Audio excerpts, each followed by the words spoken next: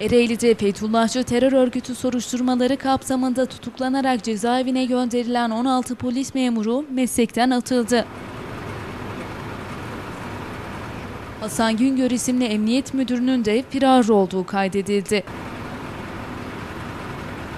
İşte o isimler. Erdal Yağmur 3. sınıf emniyet müdürü, Hasan Güngör 4. sınıf emniyet müdürü, Ömer Özaslan komiser yardımcısı, Hüseyin Çınar komiser yardımcısı, Dursun Çakmak komiser yardımcısı, Bilis Açıkara komiser yardımcısı, Erhan Yıldız komiser yardımcısı, Turan Kuzu polis memuru, Ömer Özdemir polis memuru, Resul Şahin polis memuru, Sami Keskin polis memuru, Osman Göçer polis memuru, Bekir Onaran polis memuru, Ömer Karaduman polis memuru, Barış Yeşildağ polis memuru, Çetin Yılmaz polis memuru.